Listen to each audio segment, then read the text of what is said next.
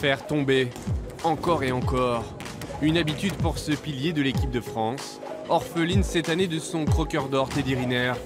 Alors son grand pote Cyril Marais doit enfiler le costume de leader pour éviter à la sélection masculine très rajeunie de faire ceinture. À 31 ans, le Dijonais assume le poids des responsabilités. Lui, le médaillé de bronze olympique, mais qui a toujours échoué hors du podium aux mondiaux. On me reproche aussi de ne pas avoir de médaille d'or. J'ai pas de titre, j'ai 5 médailles européennes sans titre, j'ai une médaille olympique, mais avant de penser euh, titre, bien sûr, même si je sais que j'ai vraiment la place pour, pour être sur la plus haute marge de ce podium, aujourd'hui ça va être euh, vraiment l'objectif d'aller débloquer le compteur, donc euh, voilà, prendre les combats un par un et essayer à tout prix de, de monter sur cette boîte. Alors, le colosse des moins de 100 kilos est couvé par ses entraîneurs. Une blessure au coude après l'argent aux Europes l'a longtemps contrarié. Mais son été de stage a affûté sa silhouette et ses ambitions. Reste à ne pas se mettre trop de poids.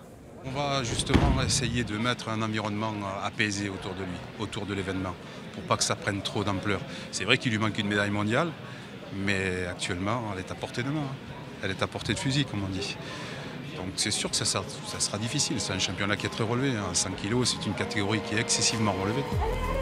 Si Cyril Marais concentre les regards, côté filles, les espoirs sont multiples, avec notamment Hélène Recevaux. La Dijonnaise de 27 ans bronzée l'an passé à Budapest cherche cependant cette saison la bonne allure. Dans une catégorie des moins de 57 kg, elle doit aussi composer avec la concurrence de sa coéquipière Priscilla Neto.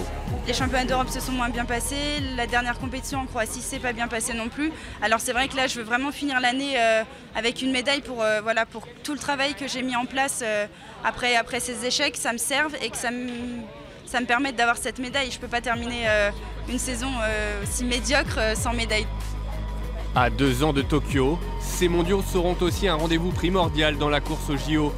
Les deux Côtes d'Orient devront marquer les esprits pour rester les indéboulonnables du judo français.